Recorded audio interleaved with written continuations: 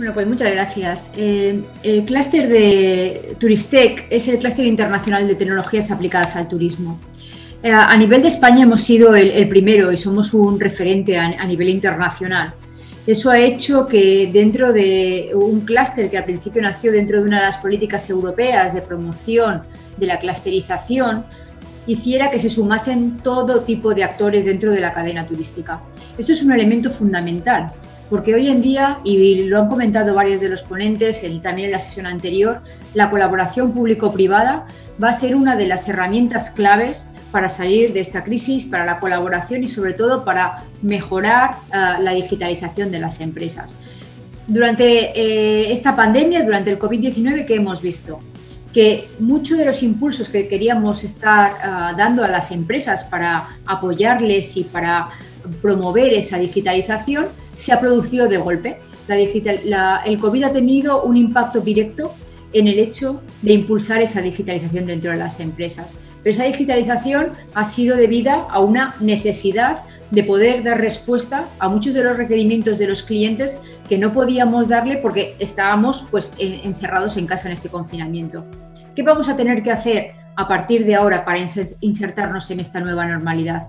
Esta nueva normalidad nos va a pedir que esa digitalización siga yendo un paso más allá, tenemos todo el marco de todas las tecnologías disruptivas que ya ha sido mapeado, como es IoT, inteligencia artificial, ciberseguridad, high performance computing. Hay una serie de tecnologías que son fundamentales y tenemos que ver cuál es su aplicación, pero también tenemos que ser realistas.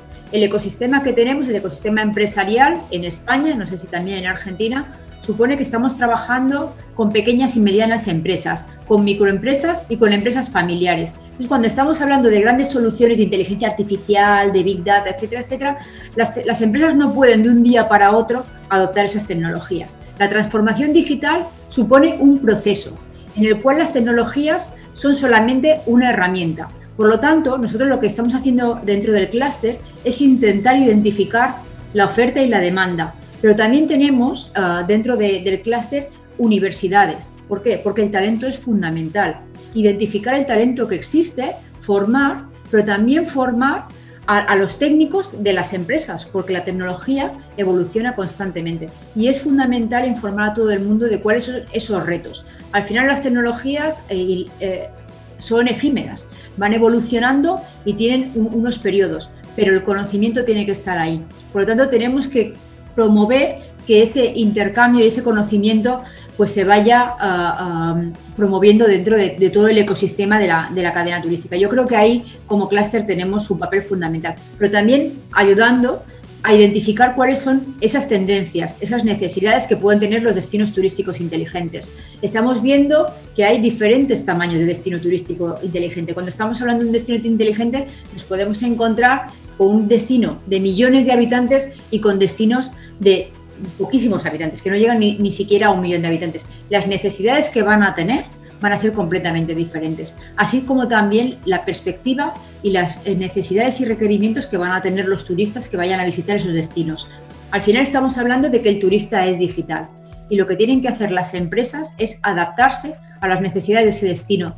Y ese destino tiene que poder ofrecer la infraestructura para que las empresas puedan desarrollar esas soluciones que van a satisfacer las necesidades de los turistas. Porque al final lo que buscan los turistas es una experiencia, y lo que quieren las empresas es personalizar esa experiencia para lograr esa fidelización, que es al final también lo que quieren los, los, destinos, que los turistas repitan y que vuelvan a ese destino, porque se ofrece un turismo de calidad, porque se ofrece una experiencia que no van a encontrar en otros lugares. Bueno, como, como tú ya sabes, al final cuando estamos hablando de, estándares, estamos hablando de, proponer una, una calidad en, en, los servicios y al final que todo el mundo pueda utilizar los, los mismos criterios. ¿no? Ah, en España ya sabes que somos pioneros en diferentes normas UNE.